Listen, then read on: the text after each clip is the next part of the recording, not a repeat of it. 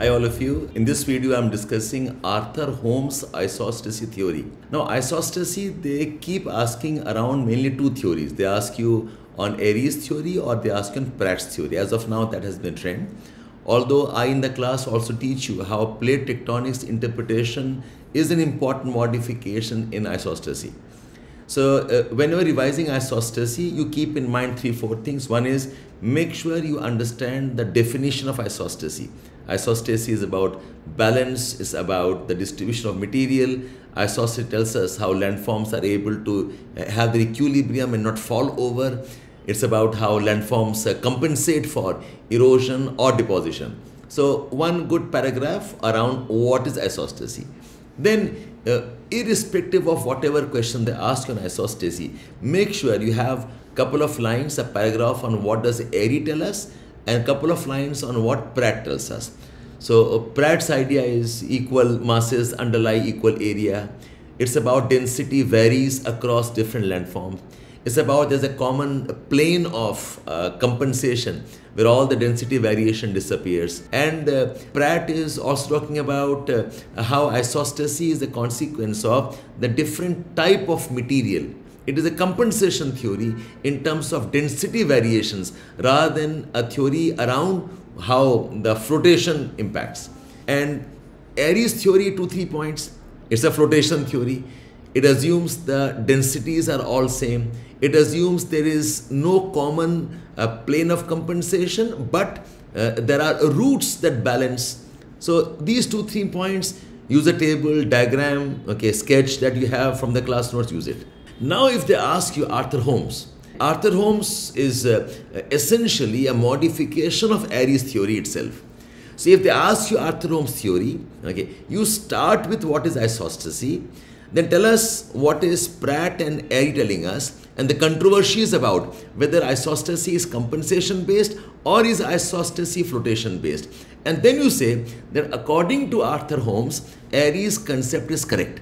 The theory by Airy and Pratt was given in 1850s. Almost good uh, 70, 80 years later, Arthur Holmes is giving the theory in 1920s and 30s. Arthur Holmes has the, has the advantage of having verified both Pratt and uh, Airy and Arthur Holmes also knows quite a bit about the interiors of Earth, far more better than what Airy or Pratt had known. So when you write about Arthur Holmes' theory, you make these three four assertions. Number one, uh, Arthur Holmes gave his theory much later after understanding the interiors of Earth much better and understanding the mantle dynamism much better. And based on those understanding of how the interiors are organized, there is a, a Moho's discontinuity, uh, uh, there is a section where the mantle uh, becomes a softer one, although he did not know idea, he did not know the idea of asthenosphere as obviously. Okay, but he knows the interiors. And what Arthur Holmes says is that Airy's theory of flotation is more correct. And like Airy said, there are roots. Arthur Holmes also said there are roots. For taller mountains, the roots are deeper. For shorter plateaus, the roots are more shallower. For the oceans, the roots are even more shallower. So if you are joining the roots of these landforms and features, what you get is the Moho's discontinuity. So if you know Moho's discontinuity, the difference, the discontinuity that separates the crust from the mantle. He says if you are joining all the roots ka base, what you get is the Moho's discontinuity. So that he is able to apply. And one more addition Arthur Holmes does is, like Pratt, he says that whatever roots you have, whatever variations you have, there is still one depth where the density variations completely disappear. He did not call it as a compensation depth, but he did refer to there is a common depth, and he said the depth is at around 50 kilometers from the surface. If you remember uh, Pratt's model, in Pratt's model, Hayford and Bowie did some modification. Hayford and Bowie say that the depth of compensation is at around 100 kilometers. Arthur Holmes says no, the depth of compensation is at around 50 kilometers. So, three points.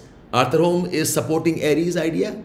Arthur Holmes gives an idea of the Moho's discontinuity wherever you are joining the roots of the landforms and Arthur Holmes also adds an element of Pratt's idea by saying there is a depth at 50 kilometers where the density variations ultimately are completely normalized. Then an interesting aspect of Arthur Holmes' theory is because he knows the convection currents, how mantle rocks are flowing, uh, how we have got uh, you know the, the molten magma moving. So Arthur Holmes adds the idea that the isostatic balance is also the consequence of the mantle dynamism. So whenever there is unloading, the mantle dynamism can push the landform upwards. Whenever there is loading going on, the landforms can push and displace the molten magma of the mantle. So this uh, mantle dynamism as a part of the crustal stability and isostatic balance, this uh, Arthur Holmes added to the theory of Airy.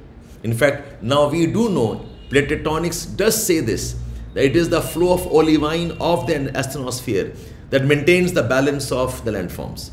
So in essence, Arthur Holmes is combining the concepts of uh, uh, you know flotation theory of Airy. He combines the idea of mantle dynamism, and this combination is what ultimately is used by the plate tectonics in the plate tectonics interpretation of the isostasy.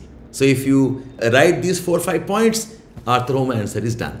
But even if they ask Arthur Holmes, make sure you have few lines on Airy's theory and few lines on Pratt's theory. See uh, Arthur Holmes' theory more as a bridge a bridge between the older theories of Airy and the modern concepts of plate tectonics because the mantle thing comes into the isostatic balance.